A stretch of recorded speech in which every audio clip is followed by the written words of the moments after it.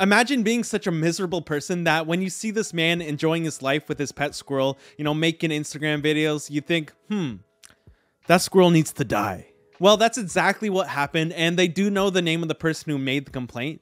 I'm not going to share that name here because I don't want to condone any kind of harassment, but it is out there and it is known. This is the story of the internet's most famous squirrel since that one who drove around on water skis. Remember that little guy? This is Peanut the squirrel, and he became an internet sensation after he was rescued by Mark Longo seven years ago after Peanut's mother was run over by a car. Peanut was known for wearing cute little hats and eating waffles, and you could tell Mark loved love this squirrel. The videos are very cute and I understand why this squirrel got so popular. You see it all the time, you know when someone gets really popular for a viral video and they use that popularity to just grift and exploit their audience for a quick buck, and then they get exposed as like really horrible people?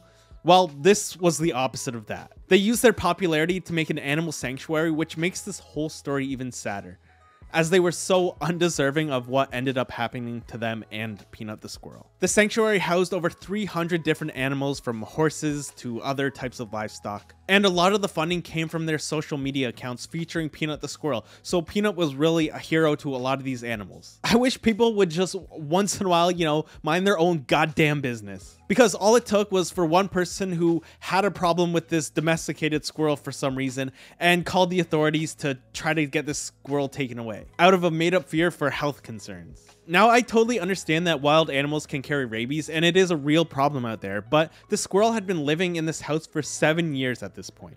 There was like zero chance of this thing carrying rabies. It's about as likely to be carrying it as any household pet at this point like your cat or bird or whatever you have. Rabies doesn't just hibernate for seven years just to pop up later and turn the animal rabid. It's not like that.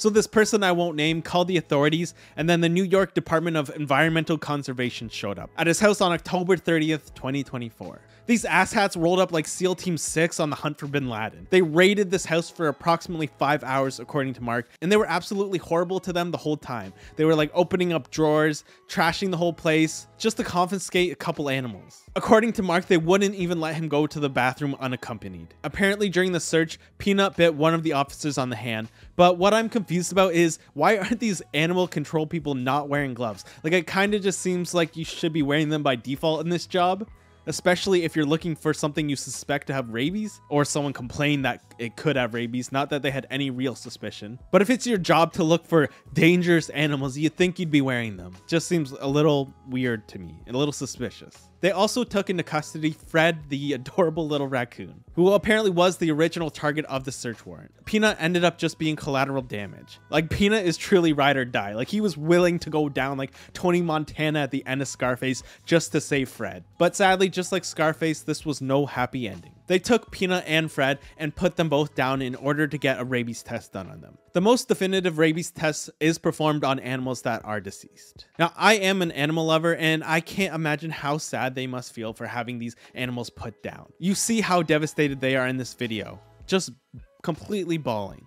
And I see comments from people like, oh, it's just a squirrel. Who cares? Like, get over it. But, like, it shouldn't matter what the animal is. Like, everyone has their own preferred animal of choice. Like I love cats and dogs. That's pretty normal. Uh, but people like you know birds, guinea pigs, hamsters. Like, but whatever. I'm not gonna judge. If that's what you love, that's what you love. And I feel really bad that this squirrel got put down. Like, people even love fish. You know, have emotional connections to fish. I'm not gonna judge. Or spiders and like insects. Like I know there are people who are like obsessed with spiders and will cry when their spider dies. And I don't get it, but you do you. You know this whole situation just had to really hurt. I do feel really sad for the people and all the people who like to watch this animal on social media. it, it is really sad. These people truly seem like they cared about animals, and they obviously weren't putting anyone or any creature in harm's way. They really just wanted to help, and they were doing a lot of good with that organization. So it's really sad to see it go down this way. I know laws are laws, but sometimes I feel like they just need to be applied in a better way. This clearly wasn't a situation of abuse of an animal, so they shouldn't treat them like criminals. Mark even said that they were trying to get Peanut legally authorized to live in a home under some sort of law that allows Peanut to be kept as an educational animal. So it seems like he was trying to do the right thing According to him, anyways, I can't confirm that. It just seems like such a waste of resources. It was not that big of a problem. Like when I had squirrels living in my attic because they found a hole in the side of the house, you think the government, you know, rolled up to help me? Like those those kind of had rabies, but no, no, of course not. But for this one squirrel, they rolled out like a Russian hit squad trying to take out John Wick. Like make that make sense.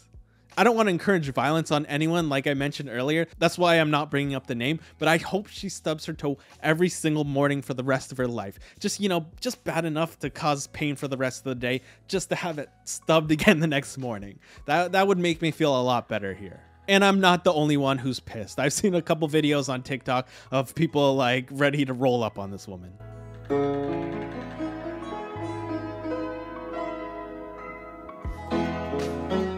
And apparently people are going after her already, so I don't need to do anything. She has a business that's being completely bombarded by negative reviews and receiving a lot of hate, so I don't need to pile onto that. It seems like the internet is doing what the internet does. Crazy world we live in where this lady basically swatted a squirrel and it ended up in the worst possible outcome a situation like this can end in. Next thing you know, this lady's gonna get Moo Deng put down for biting people. That's just what Moo Deng does. Leave her alone. R.I.P. Peanut. The internet will always remember you. And I hope the Peanut Animal Sanctuary Sanctuary lives long and prospers. If there's one small silver lining to this, it actually brought a lot of attention to this cause, so I hope they're getting a lot of donations and can help many more animals in the future.